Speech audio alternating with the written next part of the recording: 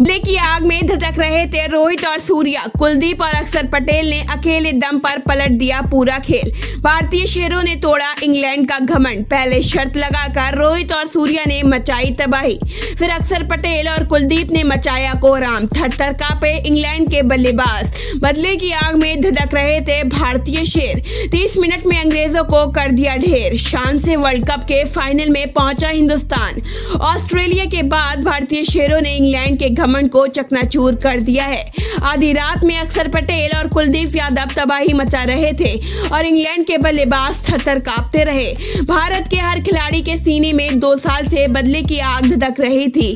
पहले रोहित और सूर्या की दहाड़ से स्टेडियम गूंज उठा।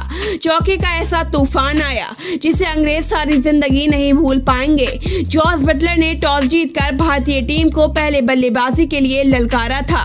रोहित और विराट की ओपनिंग जोड़ी मैदान में आती है। रोहित शर्मा ने आते ही अटैक शुरू कर दिया था। लेकिन एक छक्का जड़ने के बाद विराट कोहली क्लीन बोर्ड हो गए। उनके पीछे पीछे चार रन बनाकर ऋषभ पंत भी पवेलियन चले गए। पावर प्ले के अंदर ही भारत को दो बड़े झटके लग चुके थे। लेकिन रोहित शर्मा ने अभी हार नहीं मानी थी। मुश्किल पिच पर रोहित ने अर्धशतक जड़ दिया। रोहित ने दो छक्के और छह चौके लगाकर उनतालीस गेंदों में सत्तावन रनों की तूफानी पारी खेली। दूसरे छोर पर सूर्य कुमार यादव का बल्ला आग उगल रहा था। सूर्य कुमार यादव ने भी सैतालीस रनों की ताबड़तोड़ पारी खेली थी। अंत में हार्दिक पांड्या ने तेरह गेंदों में तेईस रन ठोक कर भारत का स्कोर 150 के पार पहुँचा दिया था। बारिश के बीच मुश्किल हालात में भारतीय टीम ने 171 रनों का स्कोर बनाकर खड़ा कर दिया था। आधी रात में पूरी दुनिया सेमीफाइनल के इस महामुकाबले को साँसें थाम कर देख रही थी। फिर शॉट के साथ जोश बटलर ओपनिंग के लिए मैदान में आते हैं। बटलर को लगा था आसान टारगेट है। आसानी से जीत जाएँगे। लेकिन बदले की आग में धधक रहे भारतीय गेंदबाजों ने ऐसा कोहरा मचाया। पावर प्ले के अंदर ही अंग्रेज़ों की कमर टूट गई। जॉर्ज बटलर ने आते ही अटैक शुरू कर दिया। तीन ओवर के अंदर ही बटलर ने चार चौके जड़ दिए थे।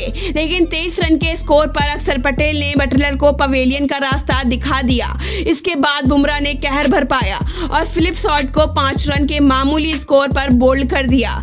मोइन अली भी आठ रन के स्कोर पर अक्षर पटेल की फिरकी के जाल में फंस गए। जॉनी ब्रस्टो तो खाता भी नहीं खोल पाए। अक्षर पटेल ने पहले ही गेंद पर जॉनी ब्रस्टो को बोल्ड कर दिया। सैम करन का भी यही हाल हुआ। दो रन के स्कोर पर सैम करन भी कुलदीप यादव का शिकार बन गए। आठ ओवर में 50 रन के स्कोर पर इंग्लैंड की आधी टीम पवेलियन लौट गई थी। भारतीय गेंदबाजी के सामने इंग्लैंड ऐसे खेल रही थी जैसे बच्चे खेल रहे हो। सेमीफाइनल के महामुकाबले में इंग्लैंड के सात बल्लेबाज तो ढाई का आंकड़ा भी पार नहीं कर पाए। पूरी टीम ताश के पत्तों की तरह बिखरती चली गई और भारतीय शेरों ने 222 की हार का हिसाब बराबर कर लिया। इस जीत के साथ टीम इंडिया वर्ल्ड कप के फाइनल में पहुँच गई है, जहाँ भारत का महामुकाबला साउथ अफ्रीका की टीम से होगा। भारत की जीत पर आप क्या कहेंगे? कमेंट करके ज़रूर बताएँ।